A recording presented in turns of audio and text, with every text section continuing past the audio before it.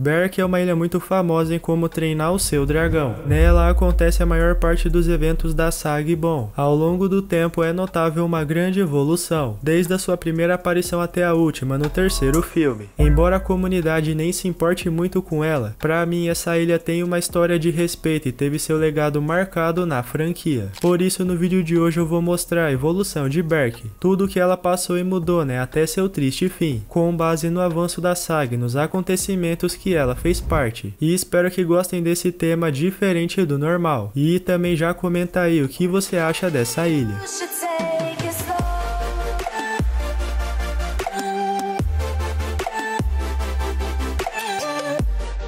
Como todos devem saber, Berk é uma das, ou se não a maior ilha de todo o arquipélago bárbaro. Ela possui uma vasta extensão territorial, formada por uma parte principal, que é a parte onde tem o vilarejo e áreas mais afastadas, como por exemplo morros altos e uma grande floresta na parte de trás. Aliás, foi lá que o Banguela caiu quando o soluço atingiu ele no céu. Bom, segundo a própria história, essa ilha é muito antiga e foi povoada por vikings desde a sua descoberta. Ao longo dos anos ela foi se desenvolvendo e cada vez mais foi sendo povoada, até que chegamos na geração do estoque, com ela vem também a geração do soluço, que é o período em que toda a saga se passa. Durante o primeiro filme é notável uma estrutura relativamente boa, como a própria aldeia formada por casas de madeira, celeiros e muito mais. Podemos ver que a embarcação também era um ponto forte dos vikings, tanto na caça de criaturas quanto para fins de exploração. E inclusive os dragões tiveram uma relevância importante na evolução da ilha, pois devido à frequência de ataques, Berk foi obrigado a se preparar, dando origem a armadilhas e estratégias de sobrevivência. E, enfim, Berk visualmente falando era desse jeito aí, vista de longe que por sinal foi uma das melhores versões, com uma simplicidade sem tamanho, uma aparência leve por assim dizer. Até que após o primeiro filme tudo muda, pois temos a convivência de todos, e isso é um passo gigantesco em relação à evolução da ilha. E isso fica ainda mais notável no segundo filme, quando Berk aumenta literalmente de de tamanho, possuindo novas casas e até mesmo atividades como a própria corrida de dragões, fortalecendo ainda mais a relação entre eles. Embora Berk não tenha tanta aparição ao longo desse filme, ela acabou sofrendo uma destruição enorme depois da invasão do besta implacável, mas eu vou falar sobre isso depois. Enfim, eu até esqueci, mas no universo das séries e em alguns curtas, Berk manteve sua estrutura simples, onde certamente a prioridade se tornou essas criaturas, revelando que a convivência deles fortaleceu ainda mais o avanço da ilha como um todo. Ela foi evoluindo em uma rapidez incrível, até que chegamos no último filme da saga, e sinceramente olha a diferença da ilha no segundo para o terceiro filme. Com certeza houve aí mais uma evolução, ou melhor, um divisor de águas na história da ilha. Afinal, Berk agora se tornou uma espécie de utopia, abrigando centenas de espécies em um sistema que o Soluço dizia ser perfeito, preparado e pensado no conforto dos dragões, resultando em uma superlotação, que por sinal se tornou um problema.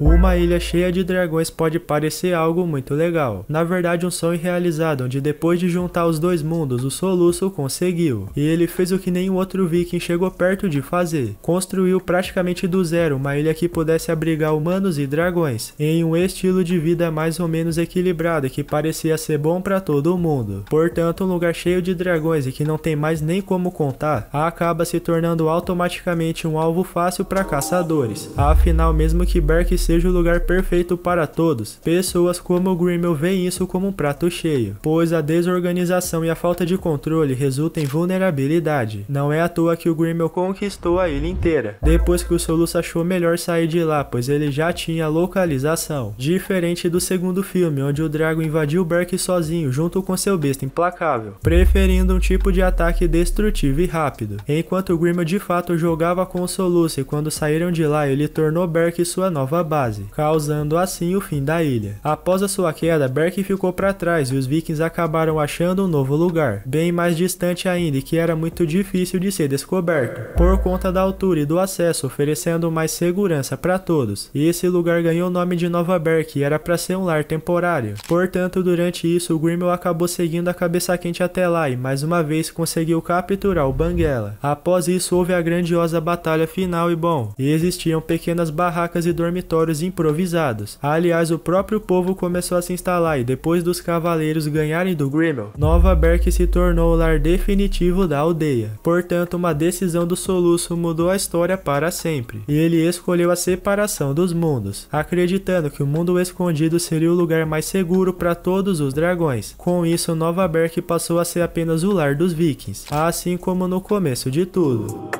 Depois de um pequeno salto temporal, vemos o casamento do Soluço, nessa mesma ilha que substituiu a antiga e lendária Berk, agora com novas instalações, estátuas em homenagem ao estoico e casas ainda mais trabalhadas. Afinal, o vilarejo evoluiu também, o estilo da aldeia mudou completamente. Nova Berk deu início a uma nova era, onde os vikings voltaram a ter suas vidas normais, sem ao menos ter contato com seus dragões, onde em paralelo a isso surge junto a nova geração, formada pelos filhos do soluço e de todas as crianças que agora vivem em um mundo onde essas criaturas voltaram a ser lendas, mesmo que tenham marcado a história durante muito tempo. E isso inclusive é interessante, pois assim como a geração do soluço, os filhos dele, pelo fato de não conhecerem os dragões, cresceram achando que eles eram realmente do mal, pois não conheciam a verdadeira natureza deles. Eu achei isso muito legal, porque mesmo com o soluço sendo chefe de Berk, as crianças não acreditavam no fato dos dragões serem criaturas criaturas do bem, pelo menos os filhos do Soluço que só foram entender a verdade quando Banguela salvou o teatro lá no curta-metragem de Volta ao Lar. Afinal, Zephyr ficou frente a frente com ele e isso foi necessário para no final o Soluço rever novamente o Banguela. Não é à toa que no final eles acabaram se reencontrando e isso acontece na cena final do terceiro filme, mesmo que na ordem cronológica tenha acontecido depois do curta-metragem. Mas enfim, eu acabei fugindo um pouco do assunto, mas é só para reforçar o quanto Nova Berk foi foi um divisor de águas, substituindo uma ilha que marcou diversas gerações. Cada vez mais foi evoluindo e serviu realmente como um grande lar, tanto para o povo viking quanto para os dragões.